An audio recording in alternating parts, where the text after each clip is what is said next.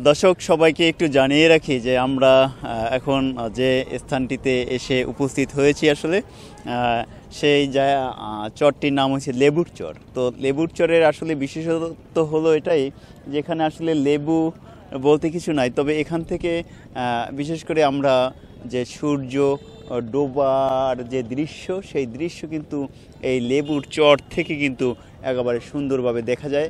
আমি আপনাদেরকে একটু দেখাচ্ছি যে আমাদের সূর্য কিন্তু একেবারে লাল হয়ে যাচ্ছে। এখান থেকে সূর্য ডোবাটা দেখা যাবে।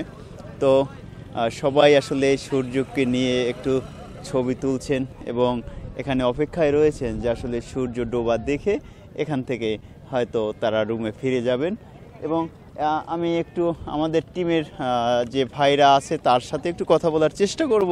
এই মুহূর্তে উনি আসছেন। যে লেবুর চর, লেবুর একই কথা আবার লেবুর চর যে আসলে লেবুর চর কেন হলো? এই তথ্যটা আসলে আমি আপনাদেরকে আসলে দিতে পারব না, এখানে স্থানীয় তেমন কেউ আমি পাচ্ছি না।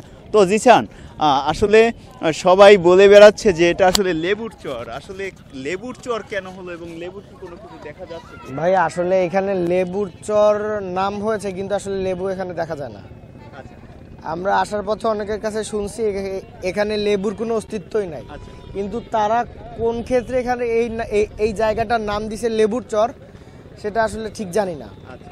কিন্তু এখানে ঝাউবন আছে। আচ্ছা। মানে বৃহত্তম ঝাউবন। ব্যাপক। আর আর এখানে অনেক আপনার শিয়াল শিয়াল থাকে যেমন হচ্ছে কয়েক হাজার। আচ্ছা। সো মানে এমনও বলা যায় যে রাতের বেলা একলা যদি কোনো লোক ভিতরে ঢুকতে পারে হ্যাঁ। বের হয়ে আসার চান্স খুব কম। আচ্ছা ধন্যবাদ। দর্শক ওই সেই একই কথা আসলে এখানে আসলে লেবুর চর লেবুর কিছুই নাই। তো মূল বিষয় হয়েছে এখান থেকে সূর্যটা ডোবা। মানে একেবারে মানুষ সুন্দরভাবে দেখতে পারে যে সূর্যটা ডুবে যাওয়া। এর জন্য এই জায়গাটার একটি তাৎপর্য রয়েছে এই লেবুর চরের। তো দেখতে পাচ্ছেন যে এই সূর্যকে নিয়ে অনেকে ছবি তুলছেন। একটু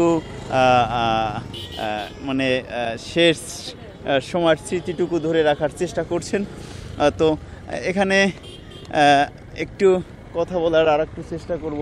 দেখি একটু সামনের দিকে যাই, যে সেখানের মানুষ কি আনন্দ করছেন, সেটা একটু আপনাদেরকে দেখাবো। দর্শক, সূর্য ডুবে যাচ্ছে আসলে। সূর্যের ছবি তোলার জন্য এখানে আমি দেখতে পাচ্ছি আসলে অনেকে আছে আসলে সূর্যটাকে নিয়ে একটু ছবি তোলার জন্য তারা একেবারে খুব আনন্দের সাথে এই লেবুর চরে এসে উপস্থিত হয়েছে। আমি দেখতে পাচ্ছি দর্শক যে আসলে চরটি আসলে আমি দেখা, মাটি আসলে এখনও শক্ত মাটি। একটু পানি পানি জোয়ারের সময় ছিল, কিন্তু জোয়ারের পানি নেমে গেছে। কিন্তু এখন এখানে সমস্ত মানুষজন রয়েছে একেবারে এই লেবুর চরে সূর্যটা ডোবা দেখার জন্য এবং শেষ মুহূর্তের স্মৃতিটুকু একটু তুলে নেয়ার জন্য তারা এখানে উপস্থিত হয়েছেন। তো এখানে আসলে একটি আনন্দ। সর্বোপরি আসলে আমরা কুয়াকাটায় যখন আসি, তখন একটি জিনিস আমাদেরকে সবচেয়ে বেশি নজর কাড়ে, সেটা হচ্ছে মানুষের মহামিলন মেলা, যেখানে মানুষ অনেক দূর দূরান্ত থেকে এখানে আসে। বিশাল একটা আয়োজন হয়, আবার একটু আনন্দ করে তারা এখান থেকে কিন্তু আবার চলে যায়। শুধুই মনের তৃপ্তি যে আপনি যখন মন খারাপ থাকবে, আপনার যখন কোনো কিছু ভালো লাগবে না তখন আপনারা একটু ঘুরতে এখানেও আসতে পারেন। হয়তো এখানে এই সাগরকন্যা কুয়াকাটা আসলে পরে আপনার মনের দুঃখ হয়তো একটু কমেও যেতে পারে এবং মনটা একটু ভালো লাগবে। সেই চিন্তা করেই কিন্তু এই সাগরকন্যা কুয়াকাটায় কিন্তু সবাই এসে একটু আনন্দ নিয়ে তারা কিন্তু আবার চলে যায়। তো দর্শক, এখানে অনেক ইতিমধ্যে কিন্তু সূর্য কিন্তু অলরেডি কিন্তু একেবারে ডুবে গেছে, আমরা দেখতে পাচ্ছি। এই মুহূর্তে দর্শক, আসলে সূর্য কিছুক্ষণ আগে আসলে ডুবে গেছে, একেবারে লাল হয়ে গেছে। তো মানুষ এখন এখান থেকে আবার তার যে রুম রয়েছে তাদের যে হোটেল রয়েছে, সেই হোটেলের উদ্দেশ্যে আসলে এখান থেকে বিদায় নিবে।